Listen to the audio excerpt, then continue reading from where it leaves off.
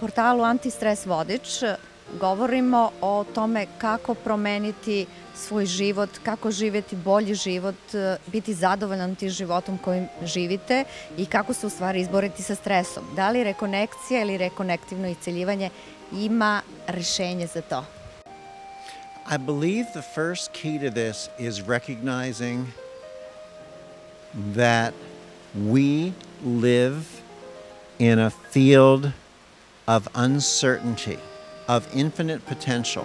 We go against this field when we try to organize everything to such a degree that we lose its potential. They say that fear is the fear of the unknown. But do we need to fear the unknown?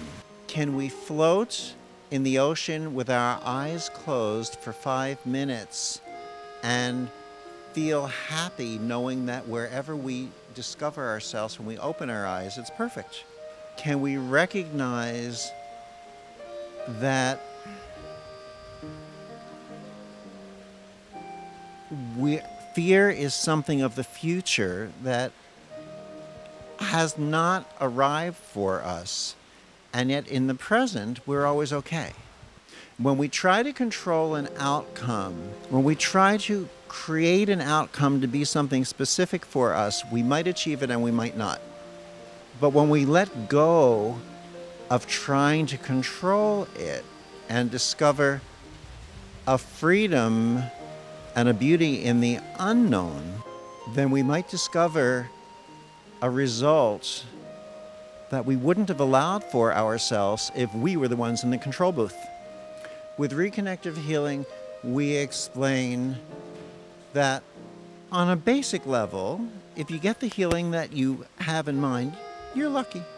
But to move beyond lucky into truly fortunate, then you might receive a healing you haven't even dreamed of, one that the universe has designed uniquely for you.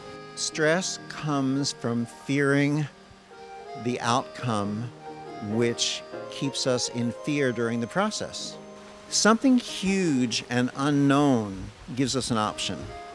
We can be in fear of it, or we can be in awe of something wonderful.